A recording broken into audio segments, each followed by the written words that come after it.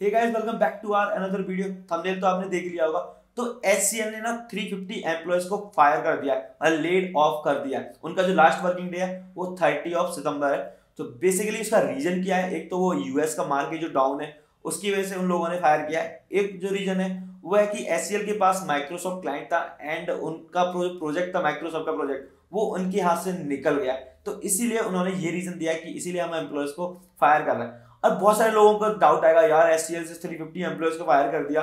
तो ऐसा नहीं है, जो थ्री फिफ्टी एम्प्लॉयज़ हैं, वो इंडिया से नहीं है। बेसिकली फोर या फाइव कंट्रीज़ से बिलोंग करते हैं।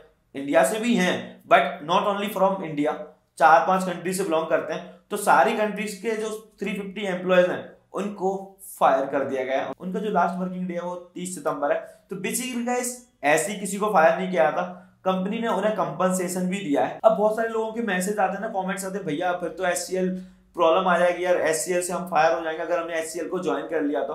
तो ऐसा नहीं है यार, ऐसे कोई कंपनी किसी को फायर नहीं करती। उसका एक रीजन देना होता है अदरवाइज़ ना उसे पॉइंट आउट किया जाएगा गवर्नमेंट की साइड से भी कि भाई तुम अपने एम्प्लॉयज़ को ऐसे कैसे फायर कर रहे हो? एक वैलिड रीजन दिया जाएगा। बट नो वरी अगर आप फ्रेशर हो ना तो आप आराम से ज्वाइन कर सकते हो as and no doubt recession तो है। भाई फ्रेशर्स को आपको पता ही चल रहा होगा कि बहुत सारे फ्रेशर्स हैं जो ट्वेंटी में या ट्वेंटी में जो पास आउट हुए हैं, उनकी ऑफ़र लेटर अभी तक जनरेट नहीं हुए हैं। मतलब कंपनी ने सीधा मना कर दिया। सीधा क्या? उन्होंने ऑफ़र लेटर जनरेट ही नहीं करना स्टार्ट किया है। बहुत सारे लोगों के आ भी गए हैं, लेकिन बहुत सारे लोगों के नहीं आ रहे हैं। मतलब मैं बोलूँगा ना तो कम से कम 80 या 75 से 80 के बीच में लोगों के ऑफ़र लेटर जनरेट नहीं हुए हैं।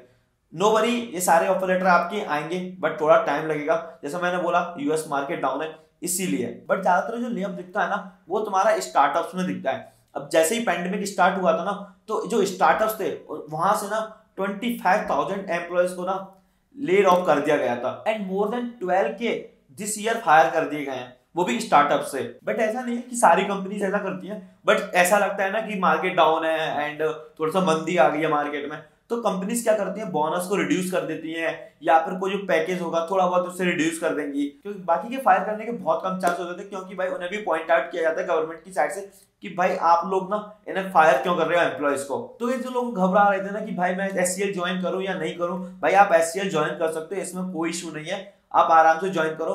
ऐसा हर किसी को फायर नहीं किया जा सकता और ना हर किसी को ऐसे फायर किया जाता है। एक कोई रीजन होता है, एक कोई वैलिड रीजन होता है, जैसे एस के हाथ से माइक्रोसॉफ्ट का पूरा प्रोजेक्ट ही चला गया। भाई गाइस आप एस आराम से ज्वाइन कर सकते हो। फिर भी अगर आपको कोई डाउट होता है ना तो मुझे इस वीडियो के नीचे कमेंट कर सकते हो इंस्टाग्राम पे फॉलो कर सकते हो। मिलते हैं गाइस नेक्स्ट वीडियो में नए टॉपिक के साथ। तब तक के लिए बाय